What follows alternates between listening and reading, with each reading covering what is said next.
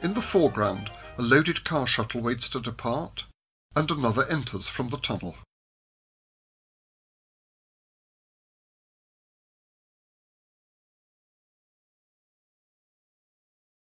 On the left, a meter gauge train is leaving for Andermatt. The first coach is still in Schöllenenbahn paint, although this line has been part of the Furka Oberalp for six years.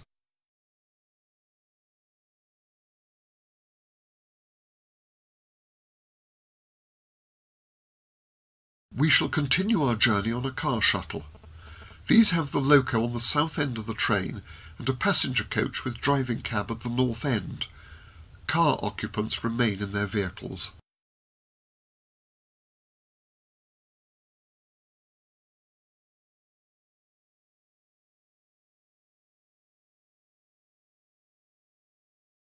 Car shuttles ceased operating through the Gotthard Tunnel once the parallel motorway tunnel came into use, but you can still try the experience through the Lötschberg Tunnel or on a meter gauge car shuttle through the Furka Base Tunnel.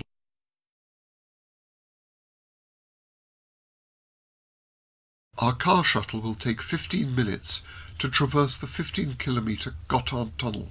Ordinary passenger trains are allowed 11 or 12 minutes.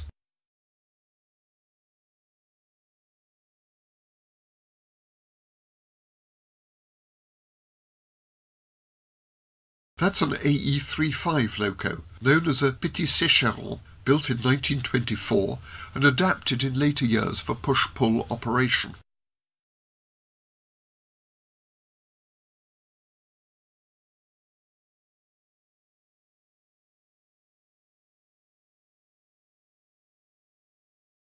While at Airolo, we shouldn't forget the memorial to the workers who were killed in the fairly primitive conditions during the construction of the big tunnel.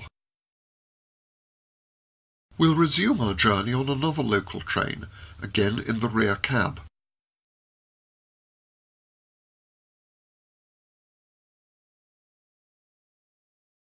This is now Canton Ticino. Italian is spoken here often the weather can be quite different too on the southern side of the main alpine chain. The mountain section, Erstfeld to Biasca, was electrified in 1920 with single-phase alternating current. At first this was 7,500 volts, while some steam trains still ran under the wires. The voltage was raised the following year to the Federal Railway's standard 15,000 volts, after the adjoining sections were energized and the effects of steam engine exhaust no longer had to be considered.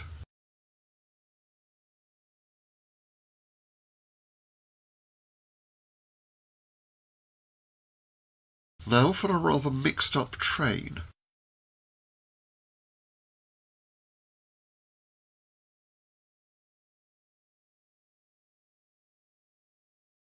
We're in the Val Leventina, this is a fairly level part, but after the next station we will come to a steep downward step.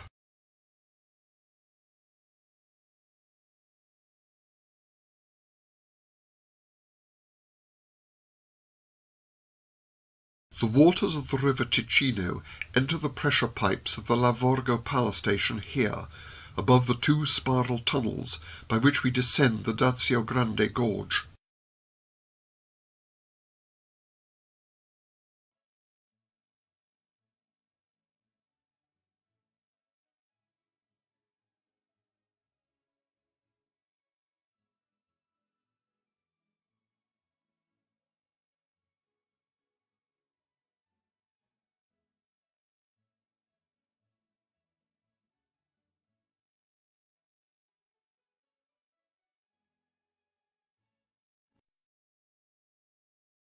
Here's a relic of the steam age, a water column between the main lines. It may have been used since electrification to supply the steam-powered rotary snowplough used in severe winter weather.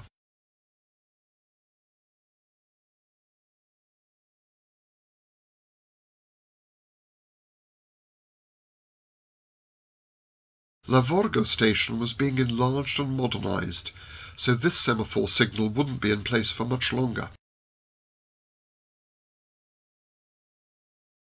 This narrow valley now accommodates the four-lane motorway, slightly higher than the railway and on the opposite side.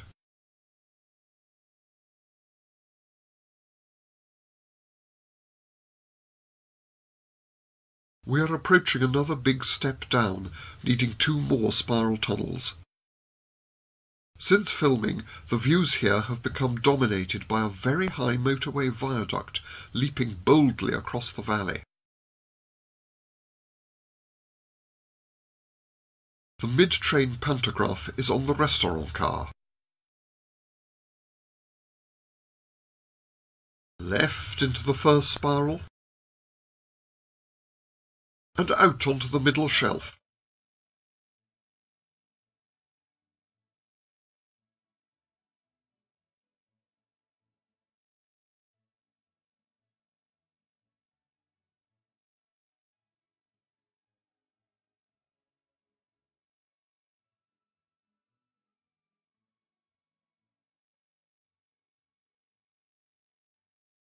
And emerge from the lower spiral to cross the river Ticino. Now look back at this marvel of 1880s engineering.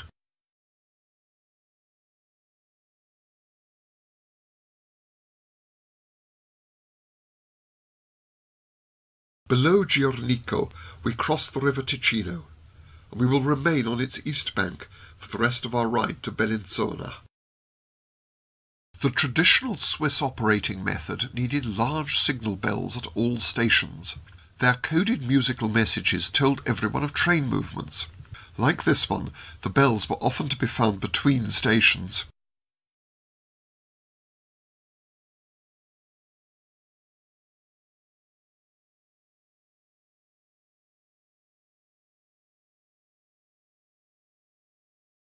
Now for a tantalising glimpse of the meter gauge Biasca Acquarosa line, which closed in 1973.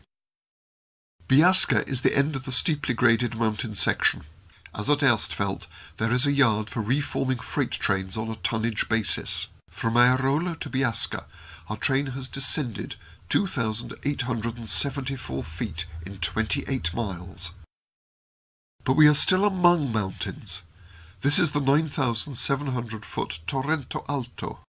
At stations where passengers must cross the tracks, any other train must be held outside by signal until they have boarded. Many Swiss stations have been rebuilt in recent years to avoid such delays.